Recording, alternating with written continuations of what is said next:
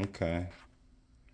These baby backs, salt, pepper, garlic, little olive oil as the binder, little olive oil as the binder, salt, pepper, garlic. Just something simple. I just try a few little combinations just to see if I can find what combination I feel like is right.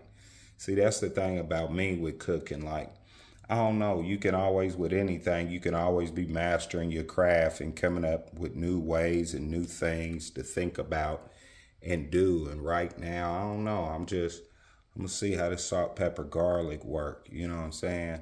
I may put a little barbecue on it, but I mean, I'm just going, I'm just gonna go a little salt, pepper, garlic on some baby backs. It's Labor Day. It's Labor Day. Just see how it go. You know what I'm saying? Just see how it go. A little salt, pepper, garlic.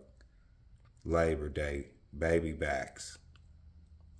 Just see how it go. See where we at with it.